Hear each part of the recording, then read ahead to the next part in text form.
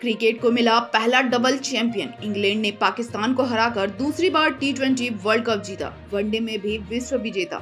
England cricket इतिहास का पहली डबल वर्ल्ड चैंपियन बन गया। इंग्लैंड की टीम ने मेलबर्न क्रिकेट ग्राउंड में रविवार को खेले गए फाइनल में पाकिस्तान को पाँच विकेट से हराकर दूसरी बार टी ट्वेंटी वर्ल्ड कप का खिताब जीत लिया है। इंग्लैंड के नाम इस समय वनडे वर्ल्ड कप खिताब भी है। पहली बार किसी टीम के साथ एक वनडे और टी ट्वेंटी दोनों का वर्ल्ड टाइटल है। फाइनल में टॉस हार कर पहले बल्लेबाजी करते हुए पाकिस्तान की टीम 20 ओवर में 8 विकेट खोकर एक सौ सैंतीस रन ही बना सकी। जवाब में इंग्लैंड ने 20 ओवर में 5 विकेट खोकर टारगेट हासिल कर लिया। इंग्लैंड के लिए सबसे ज़्यादा बावन रन नवाद बेन स्टॉक्स ने बनाए। पाकिस्तान के लिए हारिस राउस ने दो विकेट लिए। साहिंसा अफरीदी ने पहले ओवर में ही एलेक्स हेल्स को एक रन बनाने के बाद क्लीन बोल्ड कर दिया।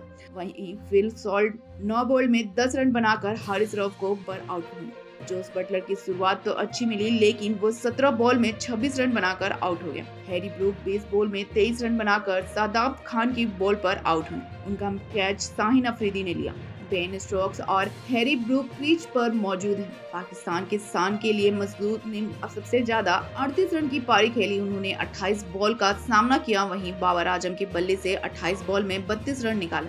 इंग्लैंड के लिए सबसे ज़्यादा तीन विकेट सेम करने के लिए वहीं आदिल रशीद को दो सफलता मिली। चौथे ओवर में पाकिस्तान की ओर से पहली बाउंड्री आई। क्रिस बॉक्स की बॉल पर मोहम्मद रिजवान ने छक्का लगाया। इसके बाद वो पंद्रह रन बनाने के बाद सेम करन की बॉल पर बोल्ड हो गए। मोहम्मद हारिस भी फाइनल मुकाबले में कुछ खास नहीं कर पाए और 12 बॉल में 8 रन बनाकर आउट हो गए। बाबर आज़म 28 बॉल पर 32 रन बनाकर आउट हुए। उन्हें आदिल रशीद ने बारहवें ओवर पहली बॉल पर आउट किया।